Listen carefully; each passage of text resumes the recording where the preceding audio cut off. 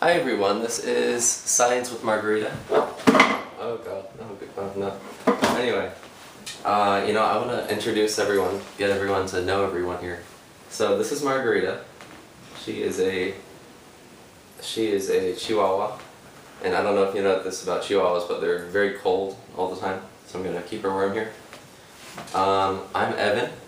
I didn't know if you heard that that sound a little bit ago, but uh, that was all my trophies falling. I have a lot of trophies. So um, here's a globe.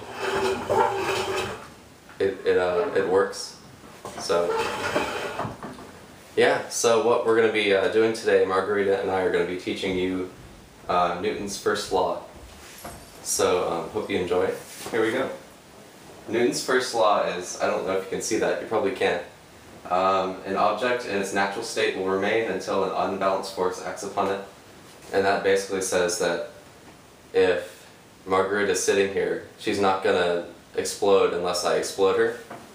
You know, she's just gonna remain together in her natural state. Um, let me refer to my notes here. I think I have all the information. Um, huh. So many notes, right? No, stay, stay, stay.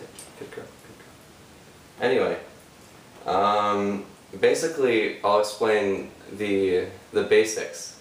Basically, the basics of what's going on here, because this is my first video, and this unit kind of focuses on forces and whatnot.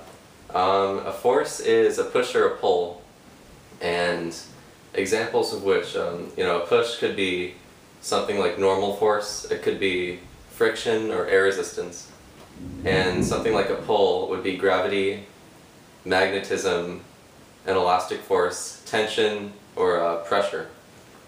Um, and basically what force does is it causes a change in velocity, whether that be, um, you know, uh, making it change direction, stopping it, starting it, decelerating, or accelerating it. Yeah. So, um, let's see. A balanced force or a balanced force on an object is basically when the um, forces all equal, the, the Newton forces equal zero. Now what a Newton is, is a measure of force. Don't get it confused with, or mix it with velocity, you know, meters per second. It's totally different. That's, that's what I had trouble with, you know, at the beginning. Um, I don't think you can see this either, but here's a box, and that box is moving at 10 meters per second to the right, and the forces that are being, you know, say without gravity here, um, there's 10, negative 10 newtons to the left being applied to it and positive 20 newtons to the right. And basically what's, what that's going to do is it, uh, it's going to accelerate to the right because it's, it has a positive force in the direction of the already natural uh, velocity. So that's pretty much, that's, that's a lot of what Newton's first law is. Uh, Margarita, you had something to say again? Mar Margarita? Never mind. I thought she had something to say. It's alright. It's alright. It's alright. It's alright. Anyway, um, what else do I have here? Um, now, net force is what I was kind of talking about before. It's the combination of all forces acting upon the object.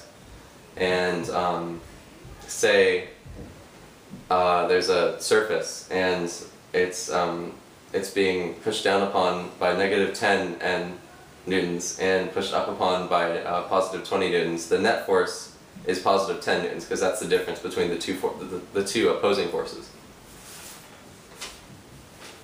Um, let's see, what else do I have here? Um, what an unbalanced force essentially causes is just change, some sort of change. Um, what else? Um, changes that can occur within the first law are obviously speeding up and slowing down, along with stopping, starting, and this is an important one, changing direction. Because that's also velocity, is direction. It is a scalar vector. No, vector, yeah, vector. You know, actually, that, that's pretty much it. So I hope you enjoyed this. Um, Margarita hopefully will be here most of the time. She's a good, she's a good kid. Yeah? Excuse me, Margarita. I'll put you down.